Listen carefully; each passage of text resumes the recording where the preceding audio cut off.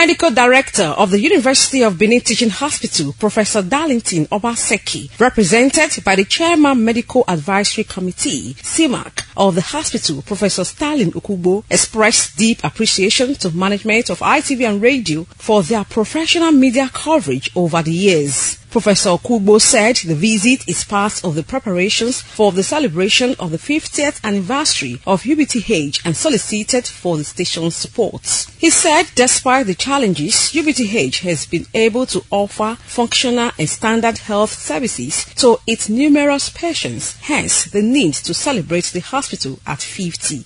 University of Benin has continued to make progress has continued to meet its uh, mandate of providing tertiary care beyond Edo State in the sub-region. We have clientele in the hospital from as far as Anambra State, Bayelsa State, Rivers State, Ondo State, Ekiti State, right now in our facility because many of the services we are the only hospital that can render them. The co-chairman of UBTH at 50 Central Working Committee, Professor Obehi Okojie, who highlighted activities of the 50th anniversary, pleaded with the management of ITV and radio to attend the event. And so we're going to be having sporting activities, football competition, golf tournament, and international one.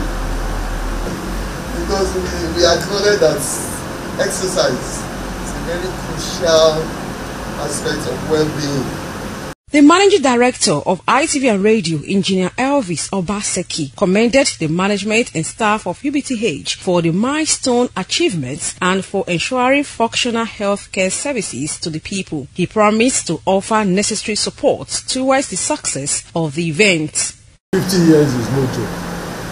Hitting the golden mark is not a joke. It's something that is worth celebrating. UBTH is in Benin. ITV, the flagship of broadcasting this way in the South South, is in Benin. We'll give you our support. High Point was the official presentation of UBTH at 50 program brochure and sensitization materials to Managing Director of ITV and Radio, Engineer Elvis Obaseki. The UBTH 50th anniversary is scheduled to hold on the 8th to 12th of May 2023.